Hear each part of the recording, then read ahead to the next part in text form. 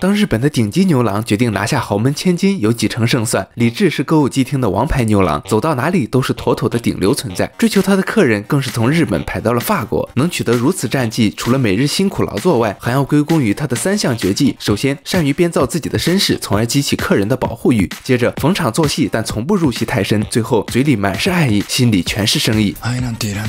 给拿去吧，你不是说要开店吗？这是姐赏你的。谁让姐姐我最喜欢工作中闪闪发光的你呢？这不好吧，姐，我得写张借据，不能让这钱玷污了我们纯洁的爱情啊！说着，用刀划伤自己的手指，在欠条下摁下了手印。一番常规操作就让客人彻底沦陷，当即就要加个钟。可当天下午就出事了，朋友告诉他，刚才那位大姐因为职务侵占罪被逮捕了。紧接着，警察也以教唆贪污的名义将她带走。就连朋友也在追警车时发生了意外，原地升天。好在刑期不长，半年后李治出狱了。他的小弟准时来接他，并准备和他一起在牛郎界做大做强，再创辉煌。可先前案子的赔偿金也算到了自己的头上，债主们还请来了道哥找他催债，连本带利七亿日元，限期两个月还清。不是吧，道哥，我跟这些人没关系的。你以前也要求过我三天之内收回一个亿的呀，我想你也明白，有我和黑皮。可天无绝人之路，在整理朋友的遗物时，发现他竟是最近去世的英氏集团社长之子。这位朋友和自己同名，理想是成为和自己一样优秀的牛郎。自小父母离异，母亲去世后就和家里失去了联系，向妹妹寄了许多信也得不到回复。现在十亿遗产只由妹妹继承，恰好英氏集团的律师也找了过来，就把拿着朋友遗物的男主认成了集团的少爷。好家伙，遇到如此专业对口的好事，岂能放过？只要搞定他妹妹，十亿遗产就能顺利到手。得意技女騙して金を取る两人就这样大摇大摆来到了朋友的家，当即就开始了无剧本表演。李智先是把八音盒这一重要的信物不经意放在桌上，开始先发制人。我告诉你，我并不是作为这家的儿子来的，我只想告诉他，他知道我妈是抱着怎样的心情去世的吗？他知道我妈有多痛苦吗？看着几个人都羞愧的低下了头，李智直接切入正题。我妹妹呢？我一直挂念的也只有她了。可见到妹妹后，才发现这位妹妹似乎并不好搞定。他拿出朋友留下的八音盒，谨慎的进行试探。然而这却触碰到了妹妹脆弱的神经。原来妹妹的眼睛看不见，幸亏这位妹妹是后天失明，要不然岂不直接眼光了？既然如此，就好办了。鸭子，对不起，我什么都不知道，但你一定还记得这个吧？当八音盒的音乐响起，儿时的记忆碎片从鸭子脑海中闪过，李智眉头紧锁，直到鸭子流出了眼泪。鸭子，我一直都在想，什么时候能再和你一起听这个呀？从今天起，我不会再让你一个人了。阿狗。接着，鸭子说出了那句让李智再熟悉不过的话。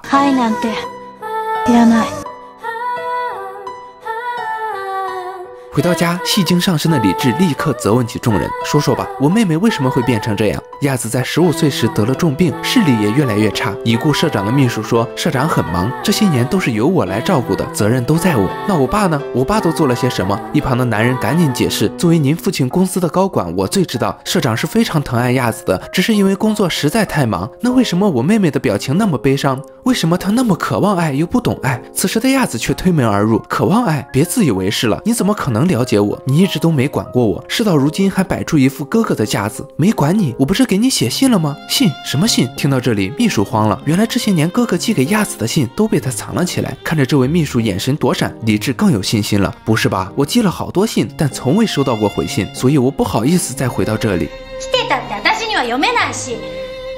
不行，搞定这个女人太费时间了。你能不能帮我找个地方，比如长长的楼梯、悬崖峭壁，掉下去会死人的那种？小弟心领神会。第二天，李智托开花店的朋友送来鲜花，拉着亚子在后院种了起来。满脸不悦的亚子逐渐被愉快的氛围所感染，慢慢的也参与了进来。看时机成熟，李智再次小心翼翼地编造着和亚子儿时的回忆，试图将某种模糊的记忆植入到亚子的脑海。眼看渐入佳境，亚子却又一次崩溃了。我们四人生活在一起的记忆，我失明以后都忘得一干二净了。不管是充满回忆的八音盒，还是这花坛，就算你们骗我，我也不知道。看不见的东西，我是不会信的。此时的李智却异常坚定，我带你去看看得见的东西。就这样，为了看到可以相信的东西，常年足不出户的妹妹跟着哥哥穿过大街小巷，来到了一处海边。这里闻得到味道，听得到声音，脚下有沙子的触感，这是能用全身去感受的地方。看不见，只要相信自己的感受就好了。亚子，过来吧，哥哥在这里等着你。亚子又上钩了，他拿着拐杖，小心翼翼地朝大海走去，眼看就要成功，亚子却在最后一刻退缩了。阿哥。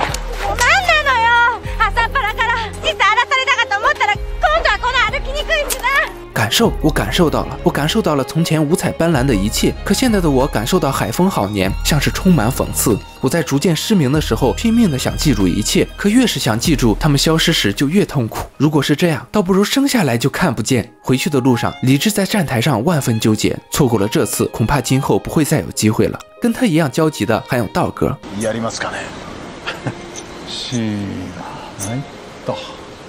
眼看电车已经来了，是时候做出决断了。思索良久，李智决定下手。お兄ちゃん、私を殺して。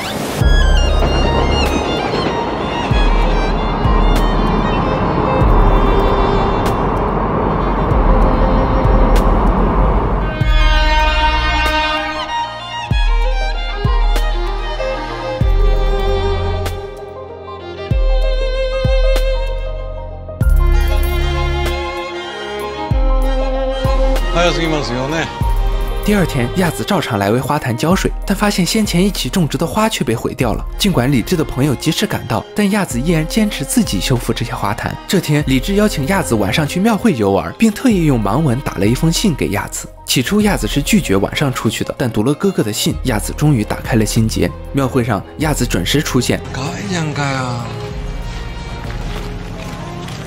可亚子的第一句话却是问他：“你信上说的都是真的吗？”在得到了肯定的回答后，这才放心的挽起了哥哥的手。接下来，亚子度过了可能是平生最幸福的时光。他和哥哥一起玩着各种游戏，尽管一次次失败，但亚子还是在努力感受着真实的一切。直到哥哥再一次将他抛弃。没有了哥哥，嘈杂的人群中，亚子绝望又无助。李智在旁边冷冷地看着。原来，从花坛被毁到庙会玩消失，一切都是哥哥的计划。让他那么开心，不过是想要他更难受，这样他就能自己去寻死了。可就在此时，绝望中的亚子摸出了哥哥的信，紧紧攥在手里。因为哥哥在信中说过，无论自己在哪里，哥哥永远会找到自己。渐渐的，亚子不再恐惧，脸上也渐露笑容。他无比坚信哥哥一定会回来的，这一切都被李智看在眼里。他先是为自己默哀一秒钟，举手就叫住了亚子。阿哥，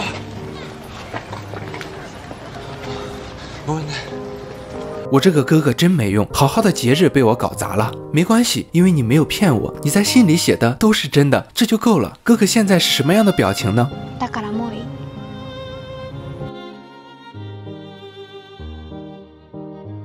見えなくて得することってあるんだね。変な顔。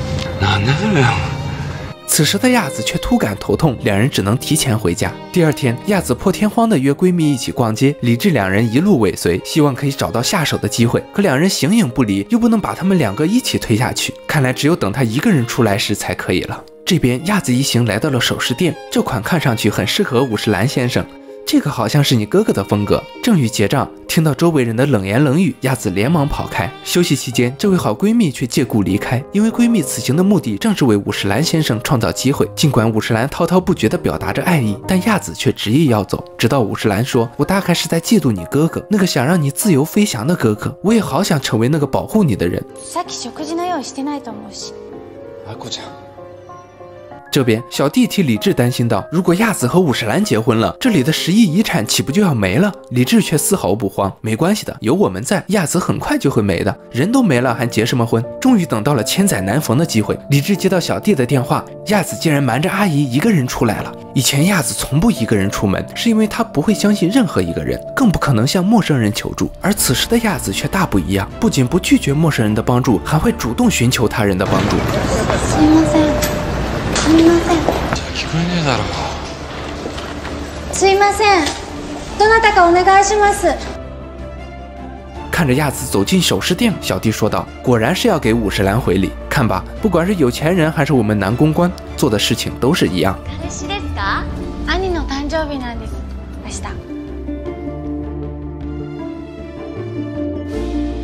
他哥哥的生日这么重要的信息，我们竟然漏掉了，真是不应该。小弟还在懊恼，而此时的李智却莫名有种愤怒，就因为是家人，就相信什么无常的爱。两人正欲离开，亚子却出事了。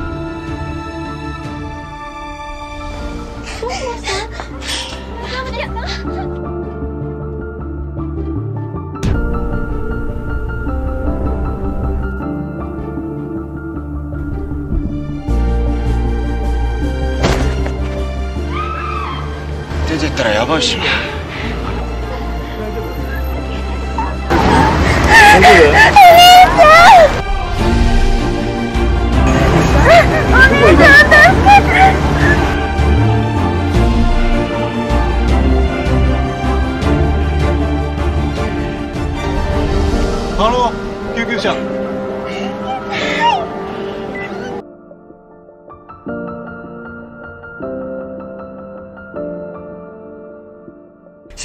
術すれば助かるんですよ可医生却说令妹不知能否挺过半年。病床前，亚子醒来的第一件事是问哥哥几点了。在得到十二点十五分的回答后，お誕生日おめでとう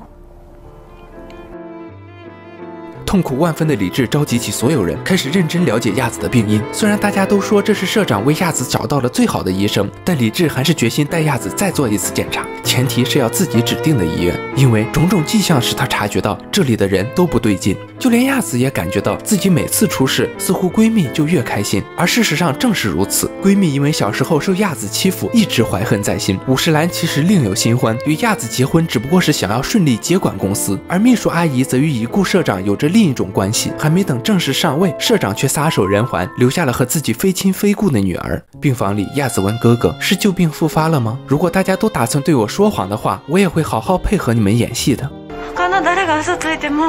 兄ちゃんだけは嘘つかないで。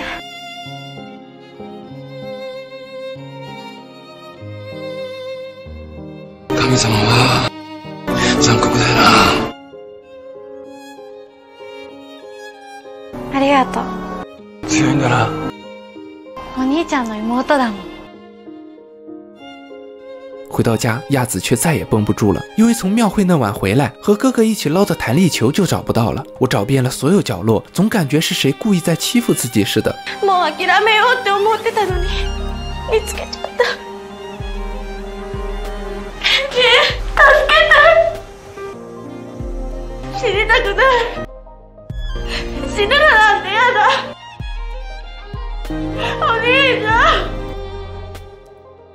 这天晚上，秘书阿姨率先发难：“你说的那家医院我们都调查过了，连脑外科都没有，怎么给亚子治病？还有那个野医生，根本就是不入流的医生。你是想杀了亚子吗？我可是一直抚养亚子到现在，把她当成女儿一样。でも他のはどうしたのかしらねスーパーボール捨てられちゃったみたいに二度と母親面しないででも病院のことは俺たち兄弟で 原来敏锐的亚子一直知道信件的事，多年来无助的她只能将一切忍耐。第二天，律师和武士兰也参与进讨伐大军。你说的那位医生虽然在美国进修过，但回国后依然把患者当试验品，现在还有五件官司在身。でも助かったやつだっていくらっているんだ法外なお金を払ってね裏の世界の方が多いみたいいいじゃないプロポーズだと思っていいんですよねあお受けします 就这样，亚子以结婚为代价换取了治疗的自由。得到应允的武士郎春风得意，但亚子却说自己只是想在有生之年让哥哥看到自己穿婚纱的样子。武士郎恼羞成怒，当即就要硬来。好在理智的小弟及时发现不对，冲上前来解了围。理智这边如果没有介绍人，这位须知内医生是不会给人看病的。是比如道哥之类的介绍人吗？嗨无奈李治只能找到道哥帮忙。什么？为了救亚子，然后呢？打算自己替他去死吗？杀了我不就好了吗？我可不是为了杀你才接的这个活呀！我只需要从你这里收回七个亿就可以了。你可能觉得不要命也无所谓，你可不能让我替你收拾烂摊子，只顾自己省心呀！返したよあれは人を堕落させますね虽然还是没有得到介绍信，但李治依然带着妹妹来到了须知内医生的医院。 こんな物騒なところで車に一人残しておくのはどうかしらね、お兄ちゃんあの砂内先生。こちらへどうぞ。それならねもらってきたから。いいか在看了病历后，医生断定病历造了假。あの子誰かに恨まれてない？殺されてもおかしくないぐらい李智让妹妹在这里再做一次检查，并告诉妹妹自己去去就来。行かないで知らない場所で一人でしないであの先生なら大丈夫だから他找到原来的医生，并在他这里得到了真相。原来秘书和武士兰在多年前就买通了医生，一直在拖延亚子的病情。检查结束，小弟准时将亚子接走，并准备将一切真相展示给亚子。家里秘书预感到事情败露，随即拿出仿冒亚子签字的结婚登记表，而这一切却被李治抓个正着。 这边小弟也带着亚子回到了家，在门外，亚子终于明白了一切。あなただってアコちゃんを殺すためにこの地に来たんでしょ真壁さん以外にだっていくらだって調べる方法はあるんです可此时的真假对于亚子来说已经不重要了，他留下众人，唯独把律师叫了进去。第二天，亚子准备了最后的早餐，和大家告别。 她让律师将准备好的信封给大家，给闺蜜和阿姨的是各自一亿元的支票，给哥哥的也是一亿元，作为取消婚约的补偿。给武士兰的是公司的特许经营权。食べ終わったらみんな出てってどうしてその人を責めないのって聞いてるお兄ちゃんだから就这样，众人酒足饭饱后各自离开。三人组忙活了一圈，只收获了一亿元， 但也不能奢求更多了。剩下的钱还需要靠自己的努力才行啊！从此，李治重出江湖这件事迅速在圈内传开。在客人眼里，这位传奇牛郎还有一个新的人设，一个为妹妹治病而拼命工作的好哥哥。在送走了一位大客户后，道哥对李治的操作拍手叫绝。好消息是，如果手术成功，亚子有希望复明哦。こちらの先生とはこれからのデート